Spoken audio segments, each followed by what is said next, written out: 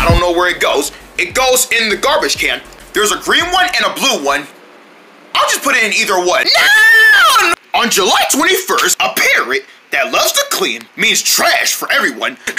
Ah! That's why we throw away good paper.